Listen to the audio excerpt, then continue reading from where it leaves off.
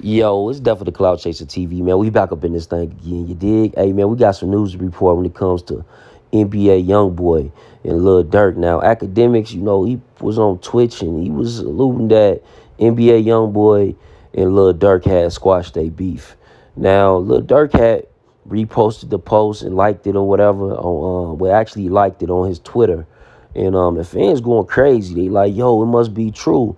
Because usually Lil Durk will come out, he'll post something, say Cap or even NBA Youngboy. So NBA Youngboy, it didn't take much long for him to get straight to it.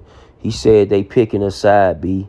Remember, I ain't trying to hear who got something to do with what 9B as N-word said. You feel me? And he said they boycotting and got that boy lit.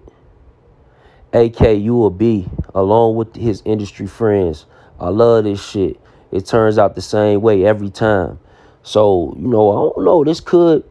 I thought that NBA young boy and Akademiks had a decent relationship. Y'all get in the comments and let me know what happened with that situation, right? Because um, I have remember that um, Akademiks used to be like kind of pro NBA young boy when it comes to certain things. He'll still speak on little Durk, you know, but when it came to NBA young boy, that's his guy.